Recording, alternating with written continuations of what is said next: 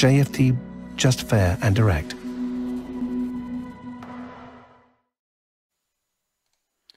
Good morning everyone and welcome to JFD's daily market review for October the 27th.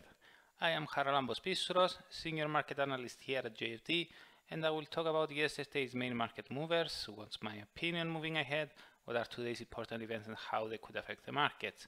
But before we start, let's read our disclaimer. The content we produce does not constitute investment advice or investment recommendation, should not be considered as such, and does not in any way constitute an invitation to acquire any financial instrument or product. I will leave you a few seconds to read the rest and then we will jump into our analysis.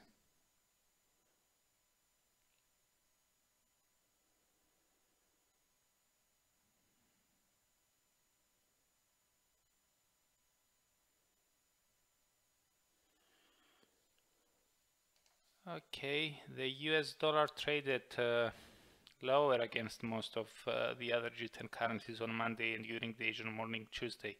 It gained only against uh, CHF and CAD, while it was found virtually unchanged against uh, the euro. The greenback underperformed the most versus NOK, SEK and Aussie. Now the relative weakness of the dollar and the franc combined with the strengthening of the Aussie suggests that markets traded in a risk-on manner. That said, the strengthening of the yen and the weakening of the loonie point otherwise. Thus, in order to get a clearer picture with regards to the broader market sentiment, we prefer to turn our gaze to the equity world. Here, major EU and US indices were a sea of red with a negative morale rolling somewhat into the Asian session today.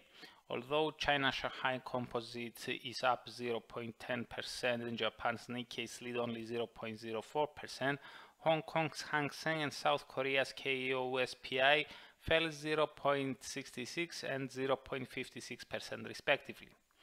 The German DAX was the biggest uh, loser, uh, losing uh, minus, uh, losing 3.71%, closing at its uh, low, lowest in nearly four months after Europe's most valuable tech firm SAP slammed almost 22% after abandoning profitability targets and warning that its uh, business may take longer than expected to recover from the damages from the damages of uh, the coronavirus of the coronavirus pandemic.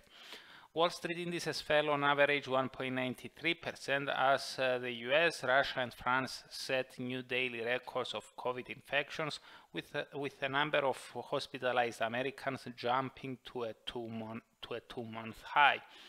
Adding to the woes, White House economic advisor uh, Larry Kudlow said that negotiations over a coronavirus aid bill have slowed, although House Speaker Nancy Pelosi remained optimistic that a breakthrough is still possible before uh, next week's uh, election. With just a week before the US election, investors find it very hard to believe that any accord on further fiscal stimulus could be reached uh, beforehand. This, combined with the fast spreading of the coronavirus, keeps sentiment subdued. As for our view, we believe that market participants will maintain a cautious stance ahead of the election, as the outcome may prove determinant with regards to the market's forthcoming direction.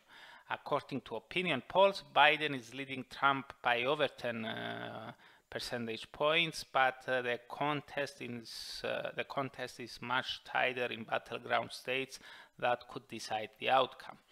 In our view, given that Biden has called for uh, corporate tax increases, his election could uh, prove somewhat negative for US equities, but this may not be true for stocks in the rest of uh, the world, as he may adopt a softer stance on international trade uh, than, uh, than Trump will do.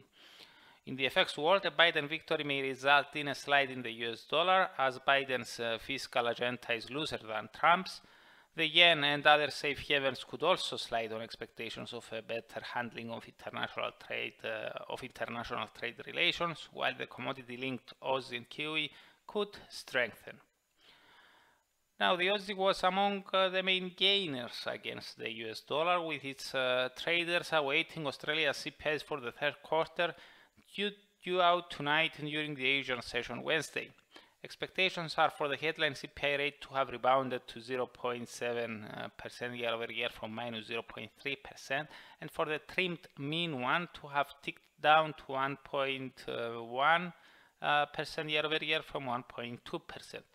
The weighted mean CPI rate is forecast to have remained unchanged at 1.3 percent year over year. At its latest gathering, the RBA kept its monetary policy settings unchanged, disappointing those looking for further easing after Deputy Governor Guy Debelle flagged the prospect. Having said that, though, a couple of weeks ago, RBA Governor Philip Lowe said that more stimulus is possible with the options including bond buying and a small rate cut. On top of that, the minutes of the latest RBA gathering revealed that officials discussed cutting rates and buying longer dated debt which suggests uh, that other members besides Lowe and Debelle share the same view. Thus, even if the CPI is improved somewhat, the chances for further action at the next gathering are likely to remain high. According to the ASX 30-day interbank cash rate futures yield curve, there is a 76% probability for interest rates to be cut to zero. Market chatter suggests that rates could be cut to 0.10%, a move that is more than fully priced in. Now as for uh, today's events, Tuesday's calendar is light. We only get uh, the US durable goods orders for September and the American Petroleum Institute report on crude oil inventories for last week. With regards to durable goods, headline orders are expected to have increased at the same pace as in August, which is 0.5% month over month, while the core rate is anticipated to have declined to 0.4% month over month from 0.6%. Uh, as far as the API report is concerned, as it is always the case, no forecast is uh, available. So that's it uh, from me. Thank you very much uh, for watching and listening. For those who are interested in learning about the main events of the week much earlier, you can subscribe to the weekly Market Outlook webinar, which I'm holding every Monday at 8 o'clock a.m. GMT time. You can find the link in the description below. At this point, I would like to inform you that there will be no daily market review video on Wednesday, Thursday, and Friday. So goodbye, have a great rest of the week, and I'm looking forward to seeing you here again uh, next week.